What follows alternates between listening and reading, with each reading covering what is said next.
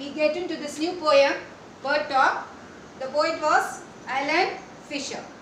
See the first stanza. Things said the robin, things said the jay, sitting in the garden, talking one day. This poem is an interesting conversation between two birds. The one is robin, the other one is jay. These two birds were sitting and talking in the garden one day.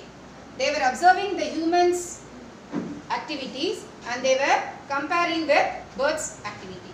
Now, think about people, the way they grow, they don't have feathers at all, you know. Yes, we don't have feathers, but birds have feathers and wings. They were comparing to humans. They noticed that humans don't sit on wires and other things. Birds usually sit on wires and other things.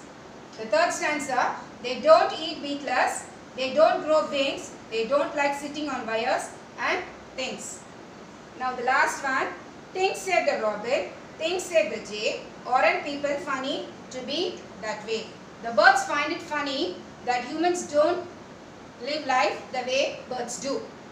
This poem conveys the thought that way of life is different from one individual to another. Go through this poem. Once again, thank you.